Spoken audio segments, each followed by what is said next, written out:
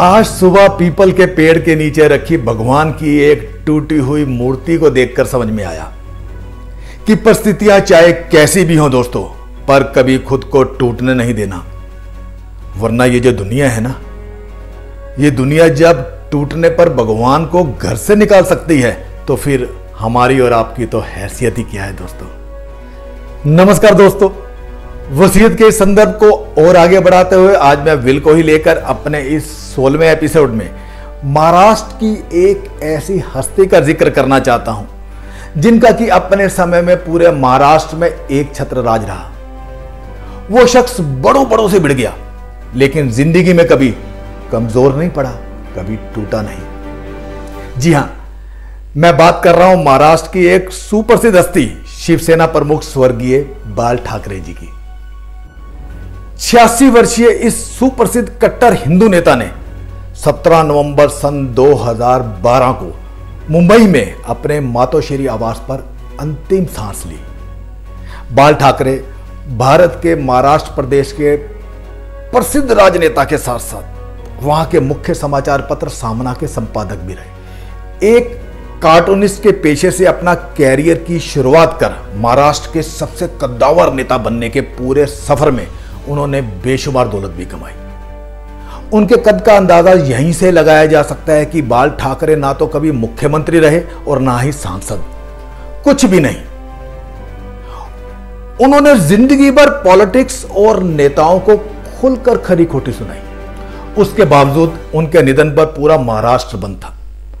बाला साहब ठाकरे का मुंबई के शिवाजी पार्क में संपूर्ण राजकीय सम्मान के साथ अंतिम संस्कार किया गया था।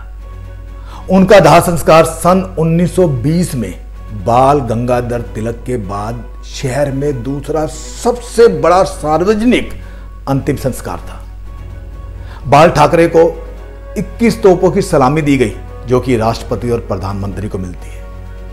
लेकिन उनके निधन के बाद उनकी वसीयत को और उनकी विरासत को लेकर पारिवारिक कलह ने परिवार के लोगों को कोर्ट कचहरी तक के दरवाजे पर ला खड़ा किया। उनकी वसीयत और संपत्ति को लेकर विवाद इतना बढ़ गया कि मामला हाई कोर्ट तक पहुँच गया। असल में स्वर्गीय बाला साहब ठाकरे के तीन बेटे हैं। सबसे छोटा बेटा उद्धव, जो कि अब उनके निधन के पश्चात शिवसेना प्रमुख है।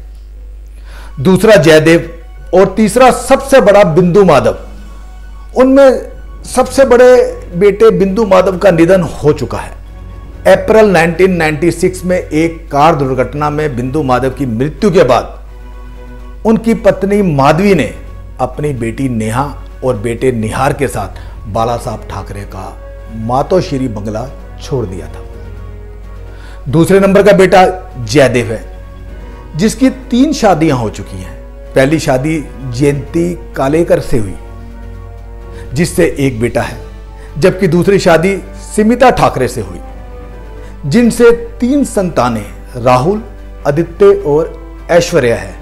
लेकिन सिमिता से तलाक के बाद जयदेव ने तीसरी शादी अनुराधा नाम की एक महिला से की थी, जिससे उनकी एक बेटी है।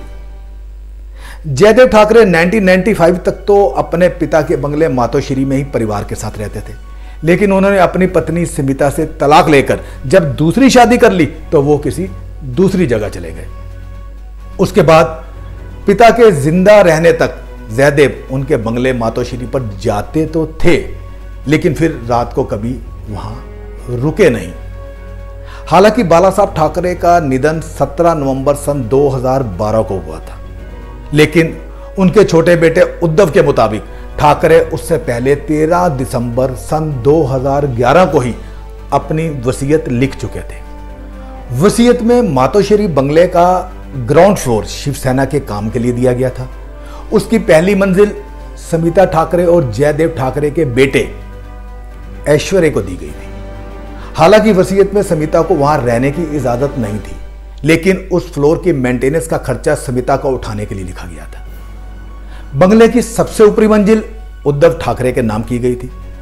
उसके अलावा करजत और भंडारदारा की दो प्रॉपर्टीज़ भी उद्धव के नाम की गई थी। जैसा कि मैंने आपको पहले ही बताया कि बाल ठाकरे अपनी वसीयत में बंगले का एक फ्लोर जयदेव के बेटे और अपने पोते ऐश्वर्य के नाम लिख गए थे। लेकिन अपने बेटे जयदेव को और अपने दिवंगत बेटे बिंदु राव के परिवार को कुछ भी नहीं दिया। पिता की उस वसीयत पर सवाल उठाते हुए जयदेव ने बॉम्बे हाई कोर्ट में उस समय अपनी ओर से कैवियट की अर्जी लगाई, जब उद्धव ठाकरे ने कोर्ट में उस विल को प्रोबेट करवाने के लिए पेटिशन दायर की थी। वसीयत को लेकर इस विवाद के चलते हाई कोर्ट में जयदेव ने उस समय जो बयान दिया, उसने पूरे महाराष्ट्र में सनसनी फैला दी। जयदेव ने अपनी पूर्व पत्नी स्मिता के बेटे ऐश्वर्य को अपनी संतान मानने से ही इनकार कर दिया। उनका पक्ष था कि उन्हें बाल ठाकरे की संपत्ति में कोई अधिकार नहीं मिला है।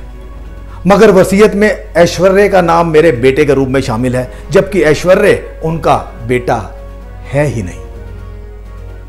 इसके अलावा जहाँ उद्धव का दावा था कि ठाकरे अपने पीछे जो संपत्ति छोड़ गए थे, उसका मूल्य पंद्रह करोड़ रुपए के आसपास है।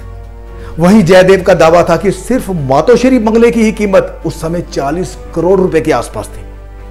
बाकी संपत्ति मिलाकर कुल मूल्य सौ करोड़ रुपए से भी ज़्यादा का था। जयदेव का कहना था कि बाला साहब ठाकरे की उस समय दिमागी हालत ठीक नहीं थी। वे उन दिनों वसीयत पर दस्तखत करने की स्थिति में ही नहीं थे, जिस समय यह वसीयत लिखी गई। उन्होंने यह भी कहा कि शिवसेना भवन और पार्टी का मुख्य पत्र सामना के कार्यालय को भी परिवार की संपत्ति की सूची में कहीं शामिल ही नहीं किया गया। जयदेव ने इन सभी की कुल कीमत, इन सभी को मिलाकर जो कुल कीमत बनती है, वो 500 करोड़ रुपए से भी ऊपर की बताई। इसके अलावा, जयदेव ने वसीयतनामे की भाषा अंग्रेज़ी पर भी सवाल उठाए। उनकी यह भी दलील थी कि उनके पिता ने अपना पूरा जीवन मराठी लोगों और मराठी भाषा को समर्पित कर दिया था। ऐसे में उनकी वसीयत को अंग्रेज़ी में लिखकर मराठी में दस्तखत करना मुझे सही नहीं लगता। लिहाजा इस वसीयत की पूरी जाँच करवाई जाए। उधर दूसरी तरफ़ उद्धव ठाकरे ने पिता की जो वसीयत कोर्ट में पेश की, उसके मुताबिक बाल ठाकरे ने उसमें लिखा था कि जयदेव ने हमेशा से ही विद्रोही जैसी ज़िंदगी जी है। वे कई साल पहले माताश्री से चले गए। उनकी पत्नी सबिता ठाकरे से तलाक हो गया था और वह अलग रहते थे। और उनकी बीमारी के दौरान जयदेव उन्हें कभी देखने भी नहीं आए। इस केस को देख रहे जस्टिस पटेल ने दोनों पक्षों को आपस में मिल बैठकर फैसला करने को कहा।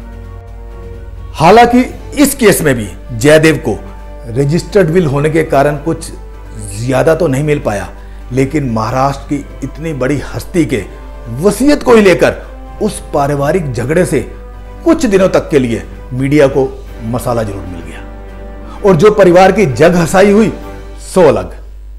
दोस्तों, मेरा इस किस्से को आपको बताने का मकसद केवल यह है कि अगर परिवार का बड़ा व्यक्ति अपनी जायदाद का वितरण यदि संतुलित तरीके से नहीं करता तो बड़े से बड़े राजघराने के लोग भी अपने खानदान की मर्यादा को सरे बाज़ार शर्मसार करने में भी कोई गुरेज नहीं करते। अपने अगले एपिसोड में मैं हिंदुस्तान के एक बहुत बड़े राजघराने की वसीयत को लेकर ही झगड़े का एक और किस्सा आपको बताऊँगा। तब तक के लिए मुझे इजाज़त दें। जल्दी आपसे रूबरू होता हूँ। धन्यवाद। राम राम। सलाम। सत जय हिंद। आपका अपना गिरीश शर्मा।